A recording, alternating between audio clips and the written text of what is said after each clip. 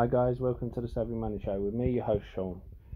Don't forget to smash that lovely like button and hit that subscribe button if you haven't already. And don't forget the bell notification to be notified when a new video comes out. Now on with the show. We're going to go thick and fast. Thick as me and a lot faster than me. Starting with Ford. Now, I mentioned Ford before, but now going on because although I mentioned how they were making respirators during lockdown for hospitals. Now they've come out with a heat tech that kills COVID 19 and they're giving it to the police respir- uh, police interceptors. And I hear you saying, but if they're giving it away, how do they make money? Well, firstly, the police will order more cars with this tech on it.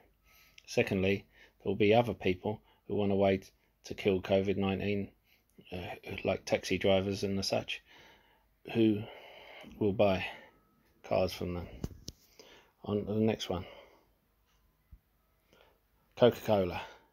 It's at trading at a 20% discount, pays a 3.5% dividend, and is classed as a dividend king. Means it's paid dividend constantly for over 50 years. Now, on to the next one. We have Kraft Heinz. Reason I waited until after the dividend's been paid is because the price of the share had gone up more than the dividend and now it's coming down. And I'd wait for it to come down at least 80 cents before buying it purely because that's how much it went up and the dividend is only 40 cents. However I find it as undervalued even at this price. One of Warren Buffett's shares just like Coca Cola. However, Coca Cola is his third biggest share. Now, we go to an another dividend king, Procter and Gamble. I've already purchased these.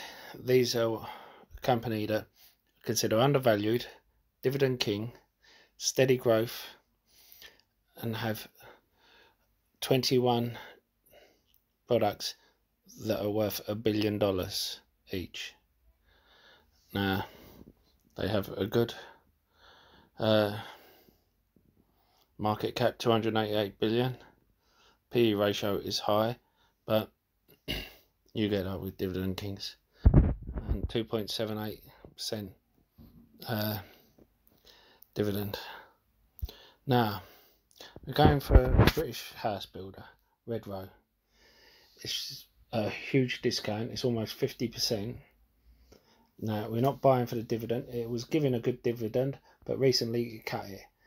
The reason we're buying is for the growth because I think it will come back to its highs, which was over £8 a share. Uh, and I think it'll do that within a year or two of opening up.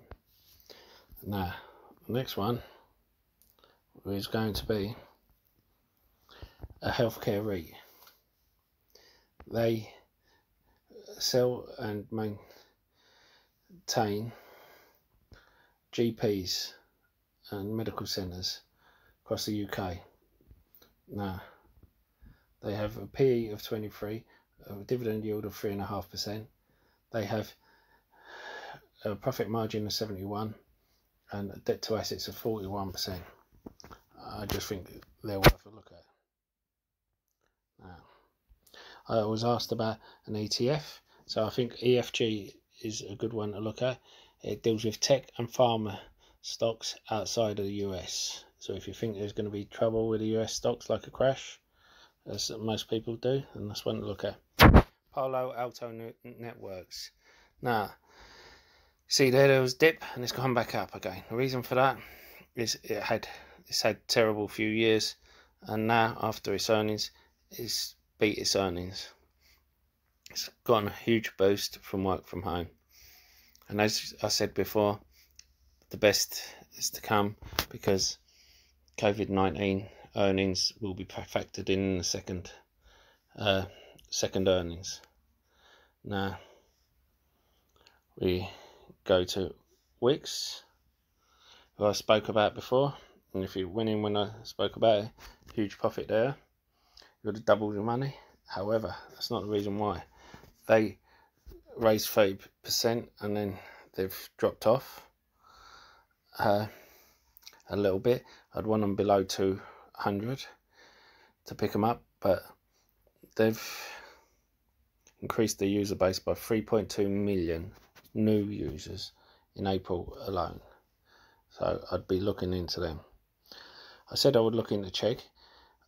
Turns out I did without realizing it. I mentioned them a few weeks back, uh, but without real noticing it.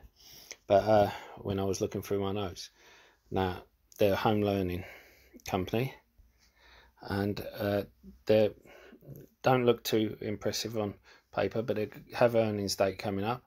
However, the good thing about this is they're in the Fed beige book, which means if there is a second wave or there's uh, or something drastic happens again, these are one of the companies that they're going to turn to. They're a home learning company, and we've heard from universities and colleges in the US saying they're refusing to give students their money back because they're going to teach them via Zoom or home learning. And I think this is a company that's going to make huge amounts from them. Anyway, don't forget to hit the like and subscribe button. And if you agree with any of mine, if you're holding any of mine, don't forget to comment in the box below. If you disagree with any of mine, comment with a reason why. It doesn't have to be in box comments box below. It can be on my Facebook page or Instagram with the same name and I'll see you in the next video.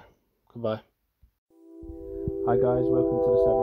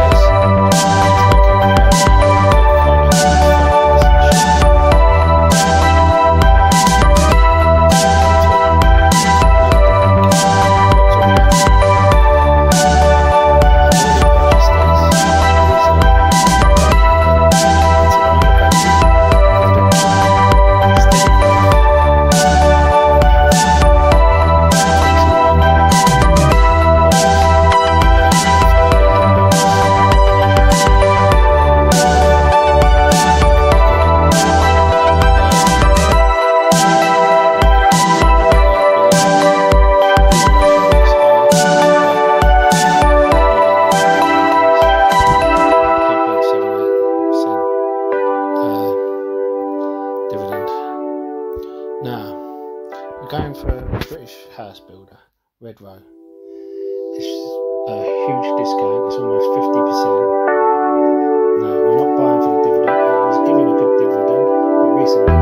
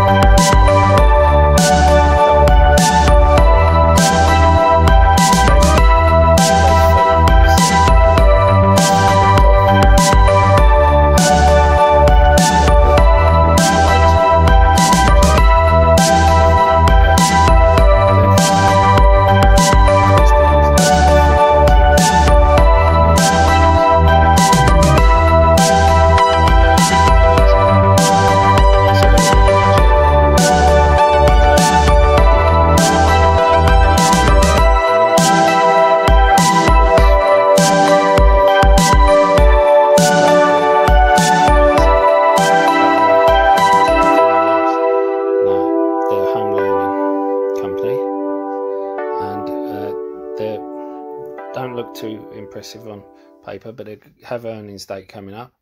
However, the good thing about this is they're in the Fed beige book, which means if there is a second wave or there's uh, or something drastic happens again, these are one of the companies that they're going to turn to. They're a home learning company, and we've heard from universities and colleges in the US saying they're refusing to give students their money back because they're going to teach them via Zoom or home learning. And I think this is a company that's going to make huge amounts from them. Anyway, don't forget to hit the like and subscribe button. And if you agree with any of mine, if you're holding any of mine, don't forget to comment in the box below. If you disagree with any of mine, comment with a reason why. It doesn't have to be in box comments box below. It can be on my Facebook page or Instagram with the same name. And I'll see you in the next video. Goodbye. Hi guys, welcome to the Savvy Money Show with me, your host Sean. Don't forget to smash that lovely like button and hit that subscribe button if you haven't already. And don't forget the bell notification to be notified when a new video comes out. Now on with the show. We're going to go thick and fast. Thick as me and a lot faster than me. Starting with Ford. Now, I mentioned Ford before, but now going on because although I mentioned how they were making respirators during lockdown for hospitals, now they've come out with a heat tech that kills COVID 19 and they're giving it to the police respir- uh, police interceptors. And I hear you saying, but if they're giving it away, how do they make money? Well, firstly, police will order more cars with this tech on it. Secondly, there will be other people who want a way to kill COVID 19, uh, like taxi drivers and the such, who will buy cars from them. On to the next one Coca Cola. It's at trading at a 20% discount, pays a 3.5% dividend, and is classed as a dividend king. means it's paid dividend constantly for over 50 years. Now, on to the next one. We have Kraft Heinz. reason I waited until after the dividend's been paid is because the price of the share had gone up more than the dividend and now it's coming down. And I'd wait for it to come down at least 80 cents before buying it purely because that's how much it went up. And the dividend is only 40 cents. However I find it as undervalued even at this price. One of Warren Buffett's shares just like Coca-Cola however Coca-Cola is his third biggest share. Now we go to an another dividend king Procter and Gamble. I've already purchased these. These are a company that consider undervalued, dividend king, steady growth, and have 21 products that are worth a billion dollars each. Now, they have a good uh, market cap 288 billion. PE ratio is high, but you get that with dividend kings and 2.78% uh, dividend. Now we're going for a British house builder Redrow it's a huge discount. It's almost 50% now we're not buying for the dividend. It was giving a good dividend but recently it cut it. The reason we're buying is for the growth because I think it will come back to its highs which was over £8 uh, share. Uh, and I think it'll do that within a year or two of opening up now next one is going to be a healthcare REIT they sell and maintain GPs and medical centres across the UK now they have a PE of 23, a dividend yield of 3.5%.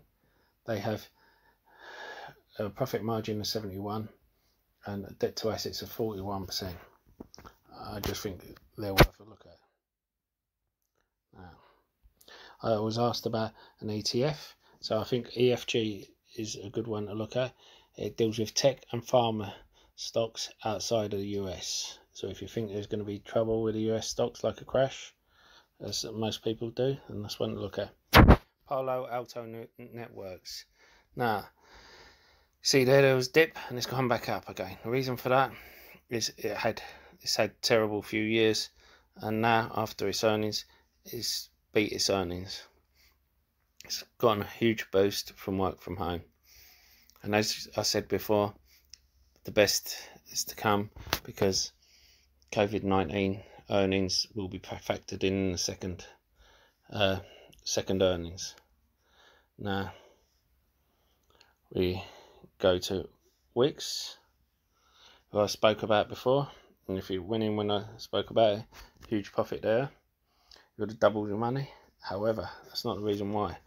They raised 30% and then they've dropped off uh, a little bit. I'd want them below 200 to pick them up, but they've increased the user base by 3.2 million new users in April alone. So I'd be looking into them. I said I would look into Chegg. Turns out I did without realizing it. I mentioned them a few weeks back, uh, but without real noticing it. But uh, when I was looking through my notes, now they're home learning company, and uh, they don't look too impressive on paper, but they have earnings date coming up. However, the good thing about this is they're in the Fed beige book, which means if there is a second wave or there's uh, or something drastic happens again, these are one of the companies that they're going to turn to. They're a home learning company, and we've heard from universities and colleges in the US saying they're refusing to give students their money back because they're going to teach them via Zoom or home learning. And I think this is a company that's going to make huge amounts from them. Anyway, don't forget to hit the like and subscribe button. And if you agree with any of mine, if you're holding any of mine, don't forget to comment in the box below. If you disagree with any of mine, comment with a reason why. Oh, it doesn't have to be in box comments box below. It can be on my Facebook page or Instagram with the same name. And I'll see you in the next video. Goodbye.